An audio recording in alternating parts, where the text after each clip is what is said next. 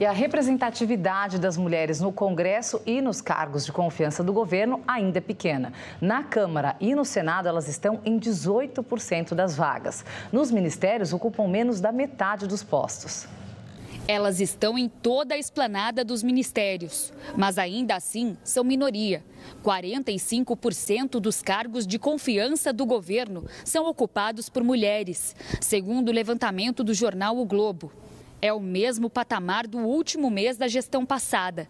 Em dezembro de 2022, dos 12.500 cargos públicos, 5.700 eram ocupados por mulheres. Em janeiro deste ano, dos 18.600 postos, as mulheres ocupavam 8.400. Apesar de a representatividade feminina ser tratada como prioridade nos discursos de Lula, só no ano passado, três delas foram demitidas. Daniela Carneiro, do Ministério do Turismo, Ana Moser, do Esporte e Rita Serrano, da Presidência da Caixa. Todas substituídas por homens. Atualmente, apenas nove dos 38 ministérios são comandados por elas. Não é só nos ministérios que falta uma representatividade maior feminina. Aqui no Congresso, a presença delas também é pequena. Dos 594 parlamentares, 107 são mulheres. 92 deputadas e 15 senadoras simbolizam apenas 18% do total.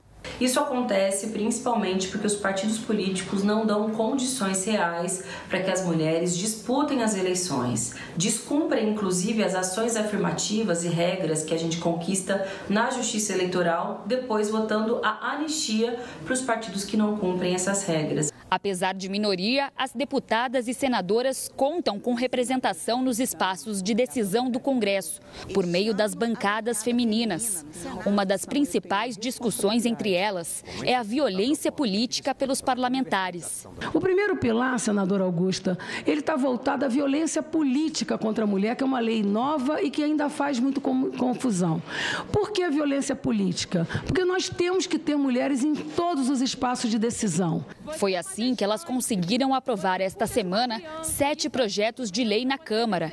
Entre eles, o que inclui o uso da inteligência artificial como agravante do crime de violência psicológica da mulher e a proibição da discriminação de gestantes em processos de seleção.